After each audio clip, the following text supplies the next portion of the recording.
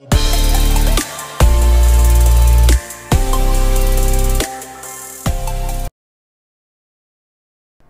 guys, it's Jason. I'm here with a new video. So I just kind of want to give my opinion on this whole um, BTS iHeartRadio situation. Um, so I think the interview was Tuesday, not Monday. I think it was Tuesday. I think. Um, and you know, people was you know, I seen a lot of stuff on Twitter stuff. People kind of pissed off about like some of the questions being asked and some people's behavior in the audience and stuff like that. So I said, okay let me find the interview and watch it for myself. So I watched the interview. I only just skipped over the music part because I'm like, I don't. I just I kind of just want to watch the interview part. And okay, let me just first start off with the interview. I mean, the interview wasn't eye opening or groundbreaking or you know stuff like that. It's kind of like a basic interview that's been done before, just in a different setting. Um, now, I honestly thought that they were going to get kind of like how the setting was for the interview. I thought it was going to be more like in depth, to be honest. But it was just like a regular ass interview on my, um, okay, just in front of an audience. Um, okay, so here's my beef when it comes to media, when it comes to K pop.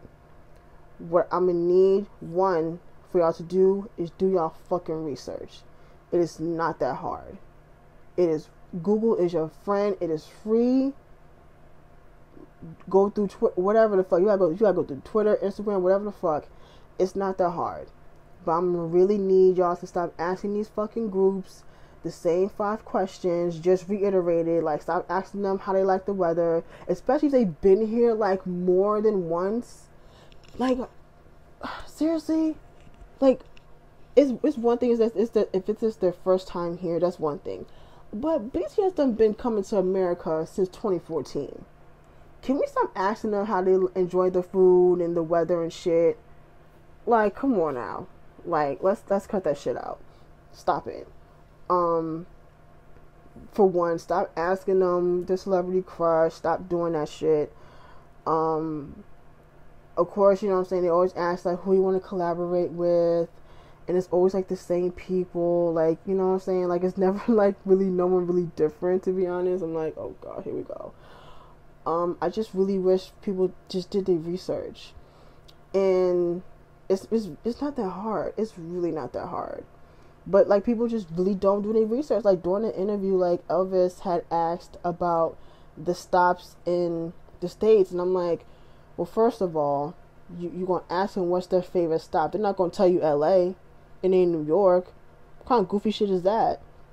They're gonna say New York, and um or Jersey, whatever the fuck, and you know what I'm saying. Um, so I'm like, like the tour, and then it's like also the tour's over.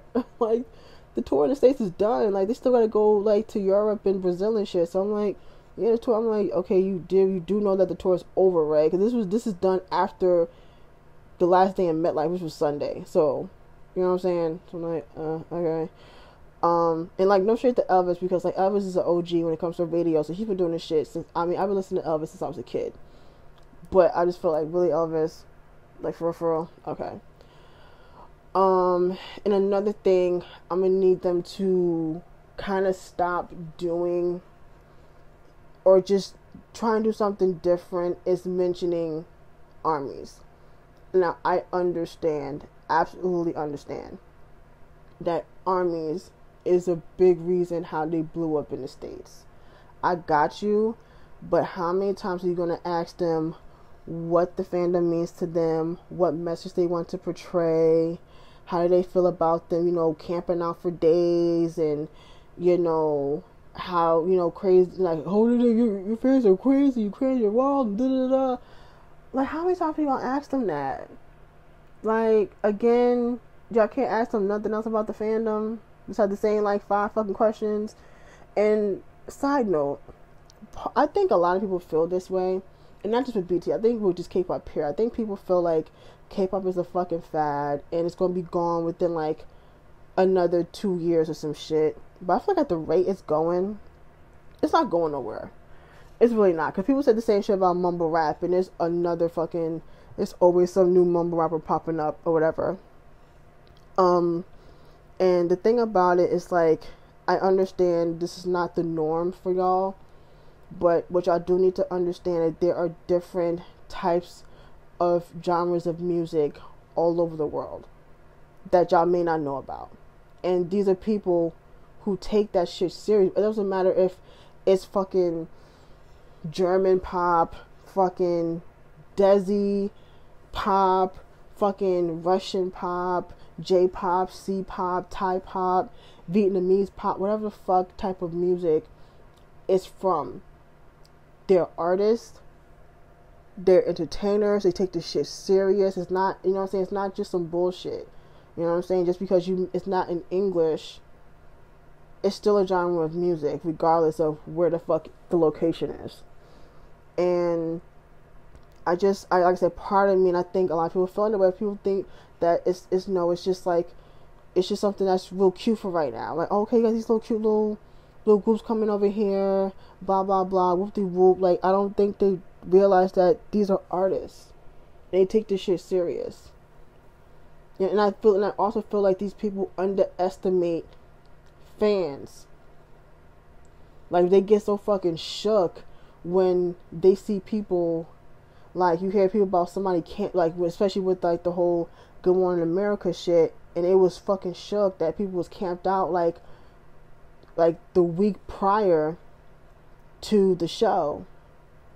I'm like, but the thing like the thing about it is when it comes to just BTS in particular, BTS is no different than the One Direction and Justin Bieber. And let me explain. Because all three of these groups, all three of these acts aren't American. Number one.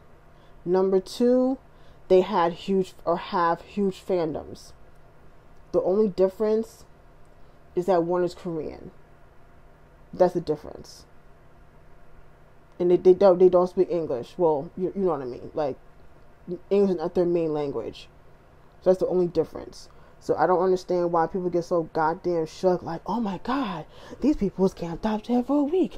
Oh my god, you know all these fandoms and like it's just they're no different. They're no fucking different. like it's really no fucking difference when they was popping.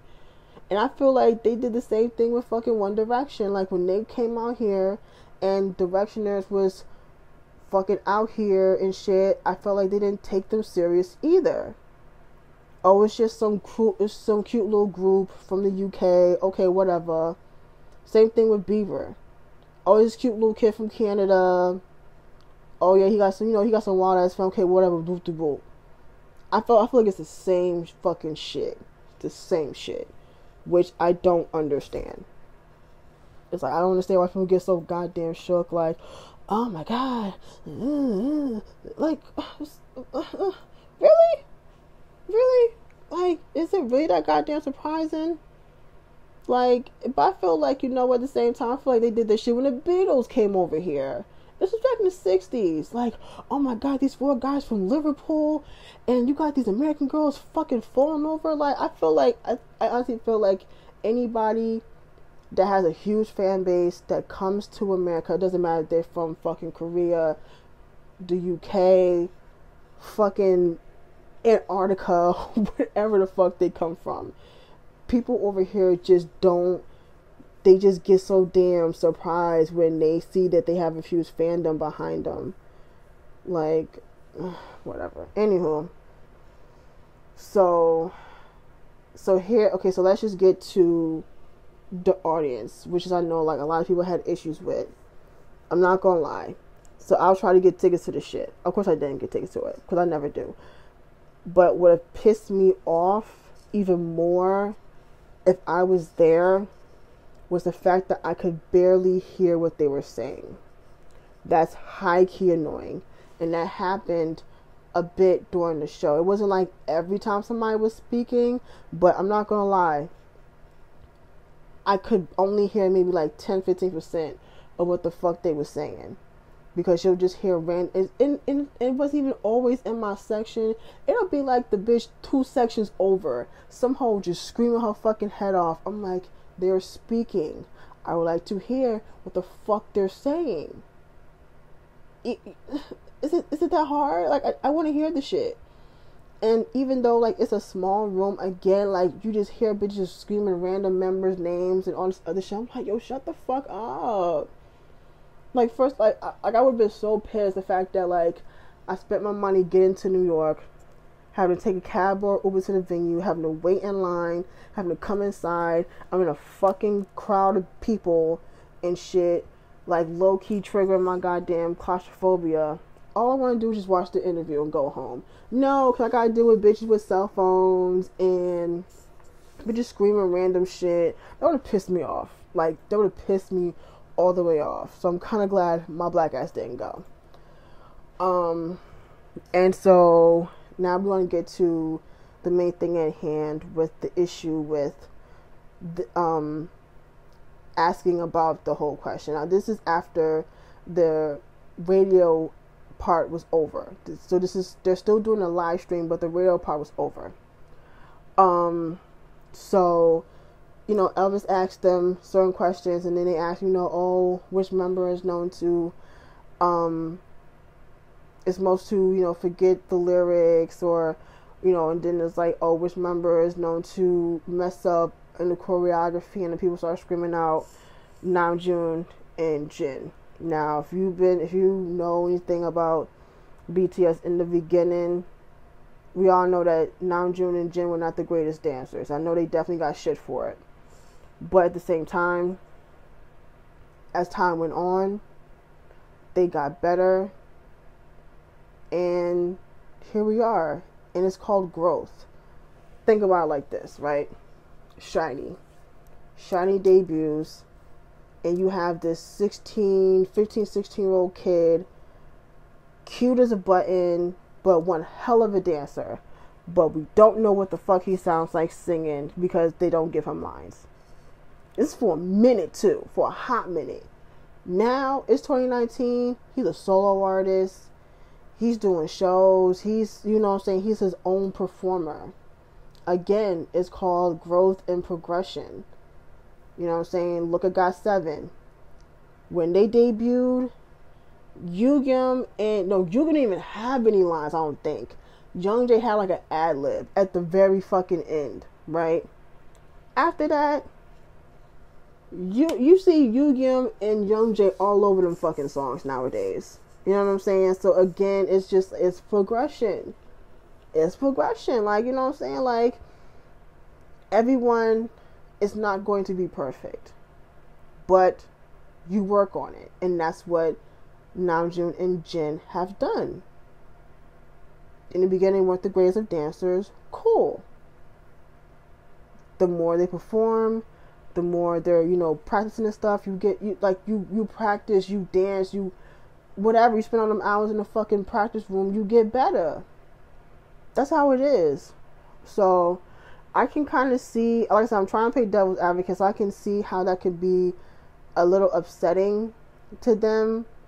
Because I mean, no one wants to hear that you're a bad dancer, or you know, I'm saying you're not a great, you're not that great of a singer, and no one wants to hear that shit. But again, again, I can see, you know, you, you, we all know that they've gotten better over the years. Um, but then part of me feels like it wasn't that deep of a question. I mean, because again, people fuck up. It's not that it's not that deep. People fuck up, and that's okay. Not everyone is going to have a you know pitch perfect performance.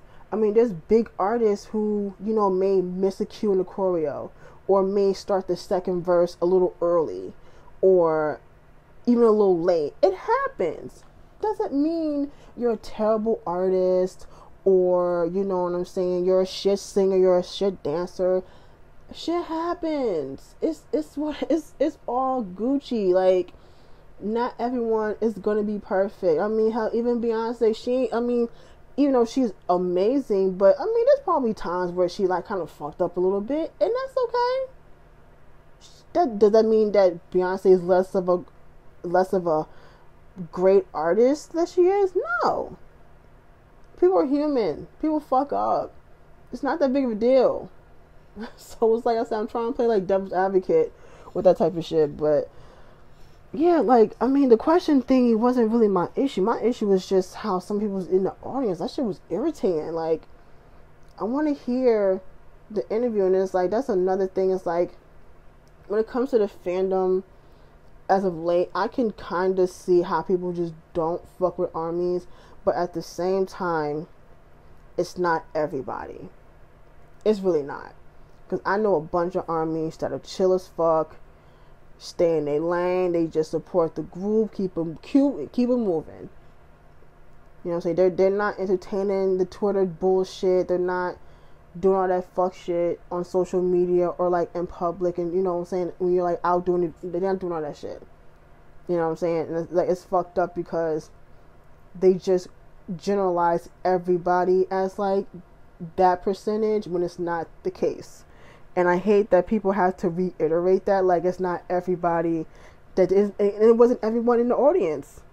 Like, I, I already know, like, it's not everyone that was there that was doing it. It was just certain people. But again, there's going to be people that just say, oh, everybody was doing that. When it's, when it's not the case. It's not the case.